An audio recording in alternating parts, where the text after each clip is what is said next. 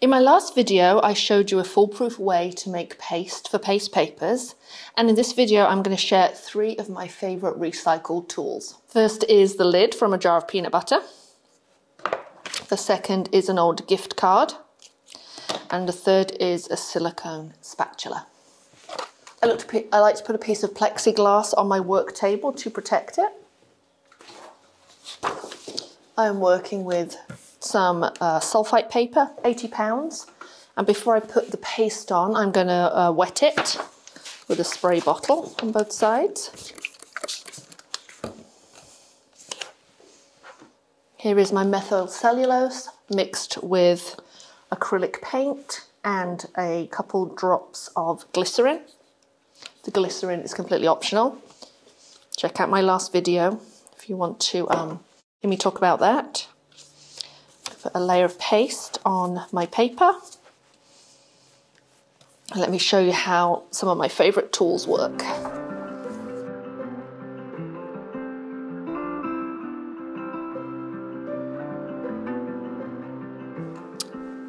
Here is the gift card and on one side I cut out some notches using a hole punch. And I'm going to have a rag nearby to collect the excess paint from the gift card because as I drag it through the paper, the paste, you'll get excess paint or paste on there so you just wipe it off. So you can do stripes, do wavy lines or straight lines.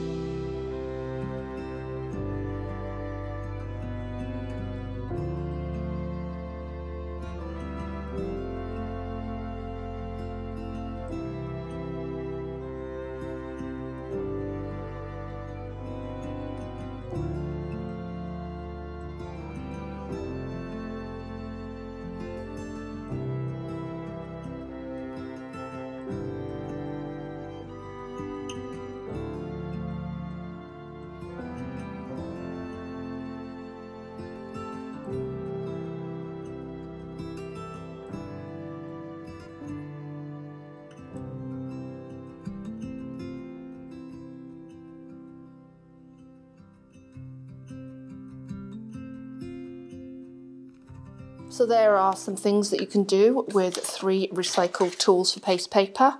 The possibilities are infinite, and if you do make some, please remember to um, tag me on Instagram at Vintage Page Designs and with the hashtag paste paper, and I'd love to see what you create. Have fun.